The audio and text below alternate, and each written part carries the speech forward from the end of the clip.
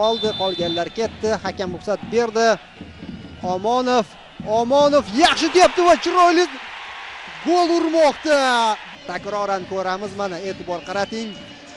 Jonli devordagilar sakramagani pand berib qo'ydi. Bu jonli devorning xatosi va yagudin ham yaqin burchakni yopa olmadi.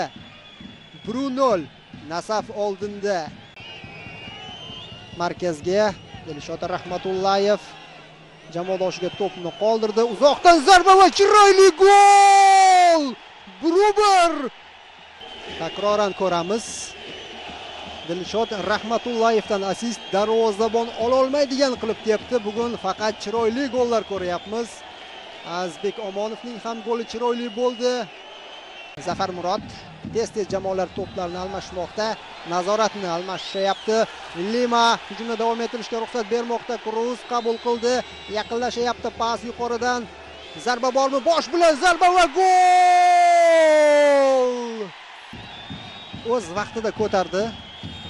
Keyin omonov kirib kelib bosh bilan shoshmasdan zarba yo'llayapti bu himoyachilarning ham xatosi va albatta darvozabonning ham xatosi bor. Yaqin burchakni yopa olmadi.